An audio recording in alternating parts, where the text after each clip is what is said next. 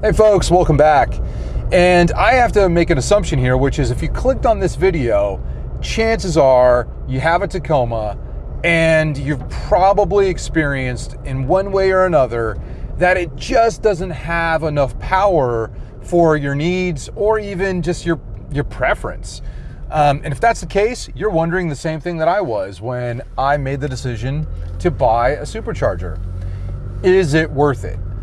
Well, I have the Magnuson supercharger for the 3.5 liter Tacoma engine.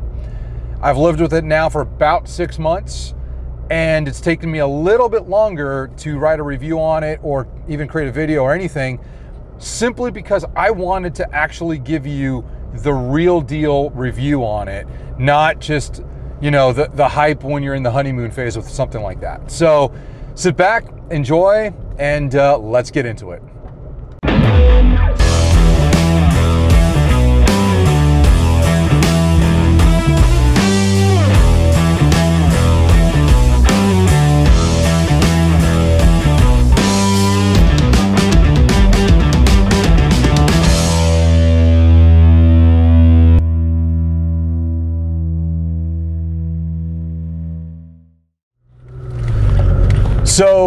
The first thing that really stands out about a Magnuson supercharger on this 3.5 liter Tacoma is that when you look at it from the engine bay side of stuff, it's a lot smaller than I expected it to be. Um, matter of fact, it actually takes up less real estate uh, than the stock engine cover and all that stuff. So you kind of have more access to getting to your motor if you need to, which is kind of nice.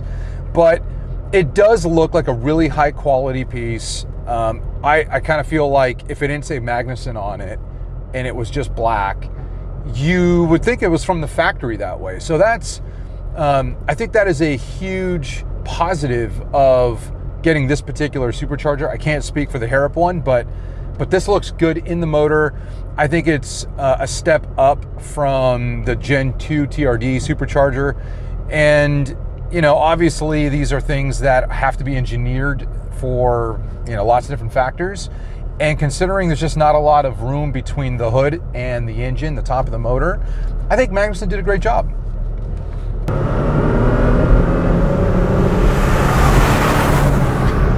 Okay, so that is quite a bit of thrust, but not as much as you would expect. so let me explain that. Um, I can definitely tell that the supercharger is doing something. And I think there's a lot of commentary online on the forum saying that, you know, it, the, the truck actually just kind of feels more stock than than anything if you have a little bit of weight like I do on the truck. And I'm not going to disagree with some of that. But the reality is, the power of this particular charger really comes on on the second half of your RPM band. So, what does that mean? That means if you really want to feel it, you, you kind of have to put your foot into it. And when you do, the truck does move. But I think that the power band itself is kind of short. And Magnuson, at the time of this recording, I think we're on V7 of the software. It's still locked. You, you can't change it. Uh, in the future, that could be a possibility. Open it up to um, other tuners and such. And I think in situations where that's a possibility, we'll be able to get more out of it and maybe more power across the entire band. But honestly, the thrust is enough where if you need to make a pass, you can. And I think, like, in general, that's kind of what we want. And everywhere else, it's pretty civilized. The one thing that on the daily that I didn't expect was I don't really hear the supercharger. I mean, you know, I've never owned a supercharged vehicle before. I've owned lots of turbos, but not anything supercharged. And I think what's interesting is I've always read or heard about, you know, the, the typical supercharger whine that you would hear. And I was kind of excited for that. I thought that would be kind of a neat um, sort of byproduct of owning it, uh, just to be able to play around with the sound. And I, I'm a guy who loves sound.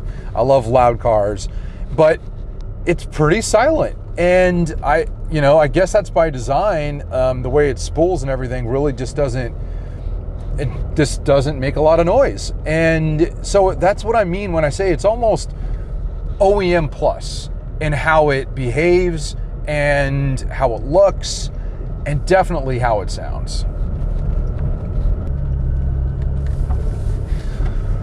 One more strange thing, and I need to talk to Magnuson to better understand what I'm about to say to you, but I want to put it out there because nobody's mentioned this on the forums or anything else that I've seen, which is in the third gen, using this supercharger, if you push the ECT button, um, what happens is, you know, that's supposed to be like a mapping that helps hold transmission transmission gearing a little bit longer, but it definitely feels like the truck just in stock form moves a little bit faster when you push that button.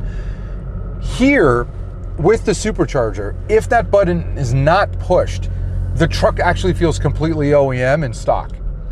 If you push that though, that's when the, the supercharger really actually kind of kicks into gear, I think. It's weird. Like I can, like right now I have it on, and even at low speeds, low RPM, I'm doing 1500 RPM, you can really tell that there's torque underneath your right foot. If I put my foot down, the truck's gonna move. And if I undo the button, it doesn't feel that way. So I'm I'm curious because with some of the negative comments online about the supercharger not really being as high performance as people wanted it to be, I'm wondering if they've actually tried this. It's such a simple thing, but I'm wondering if Magnuson somehow tuned that button to actually open up more of the boost uh, to make it available across the RPM band. Not sure. I got to get that answer. And if anybody knows for sure, I'd love to know. So if you could just comment below, that'd be great.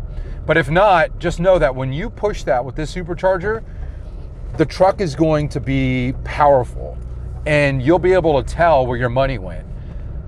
However, and here's the drawback because there is a drawback, right? If not, why wouldn't you just leave it like that all the time? The drawback is it becomes less daily drivable. And what I mean by that is, you know, you'll be just driving off the line and though you have a lot of torque, it'll just take the RPMs way up to like five or six before it shifts, even if you're just trying to go slow. So it's like this mismatch of situation. You just want to put around town at that point and you just want to feel the power, but the engine with the with the supercharger doesn't care. What it wants is to kind of unleash all the horsepower. And so that's why it's it's not really the right thing to do just putting around town. So what I do, my recommendation is, you know, when you're just driving around town, just drive it in normal mode. When you're on the freeway um, and you just, you know, want to be a little bit faster, you want to get somewhere a little quicker, make a pass, something along that lines, then hit the button and you should be good to go. Okay, so I do think we need to talk about the price a little bit. Um, so, what does it cost? Well, it's right around 6600 bucks just for the charger kit. But you also have to factor in that because you're going to be doing this install, you're going to need to do the coolant flush. You're also going to need to do spark plugs. Well, it's actually you don't need to, but while you're there, it kind of makes sense. Um, and then oil change and things of that nature. So, you know, there's a little bit of like maintenance cost that this install kind of forces on you. Um, but that's okay. I think let's just call the parts, um, the kit, and just the install right around nine to ten thousand dollars. I think is a fair guess based on um, where you get it installed. Or if you install it yourself, you can save about 1500 bucks, maybe 2000 bucks. So keep that in mind. You know, if you're getting, and I, you know, I'll put the figures here on the screen, you know, roughly 30% more power and torque, I think that's a healthy number for what you spent. But it's not a big enough number where the truck feels transformed completely. This truck does not feel transformed. If I gave any of you viewers out there a chance to drive my truck around and didn't tell you it was supercharged, you might not even realize it. But the fact of the matter is, the truck weighs right around 66 to 7,000 pounds. That amount of weight to move this freely is actually pretty impressive. So that's what you're paying for. The supercharger is allowing me to keep this truck uh, daily drivable and feel like it's um, still very usable. And, you know, that's worth it to me. But I think the cost is really a personal decision for each and everybody because almost 10 grand, that's a lot of dough. I mean, I can think of a thousand ways to spend $10,000 that aren't this. But if you love your truck, if you love, you know, building it up and actually using it, I think it's a valuable investment. I also think that on resale value, it definitely pays you back too. Now, you might not get $10,000 worth out of it, but it'll definitely help hold the resale value of your truck. All right, folks, so let's conclude some stuff. Um, should you spend the money? Should you supercharge your truck? My recommendation is save up your dollars and go for it because I don't think you're gonna regret it. It's not a perfect solution by any stretch, but it is the best solution I think that's out there that will allow you to still enjoy your truck, build it without worrying about weight, and at the same time, it's totally reversible, and even better, it's carb exempt in California. That in itself makes it worth it to do it. So that would be what I would say. If anybody has any questions, I'm happy to answer those. Just put questions down below in the comment section and I'll get to them uh, as best I can. All right, folks, thanks so much for watching. I will catch you guys on the next one.